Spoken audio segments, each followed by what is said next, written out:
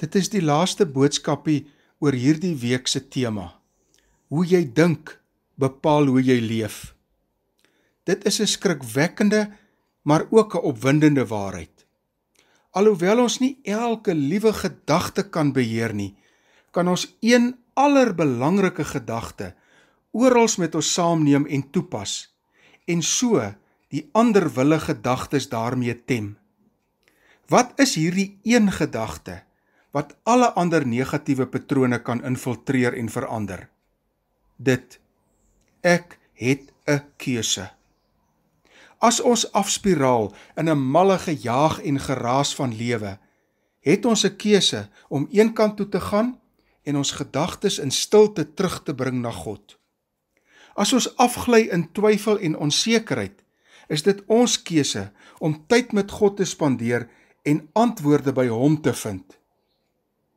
As ons gegryp word deur vrees en angs, kan ons kies om ons gedagtes terug te bring na vertroue dat Vader alle beheer het en ook my omstandighede bestuur.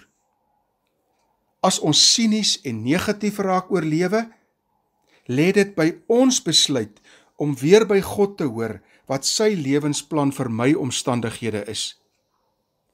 As ons eie belangrikheid en selfsug ons trots en opstandig maak, kies ons om met nederigheid na Vader toe te gaan en ons voor hom te verootmoedig. As ons onsself begin bejammer, moet ons 'n slag tel wat ons wel het en ons gedagtes in dankbaarheid terugbring na Vader wat ons versorg. As ons ingly in selftevredenheid en gemaksig, bly dit ons verantwoordelikheid om te dink hoe ek God en ander kan dien om so vervullend te leef. As jy Vader vertrou vir die toekoms, het jy 'n Godgegewe, Godkragtige, Godverlossende vermoë om te kan kies waarop jy jou gedagtes rig.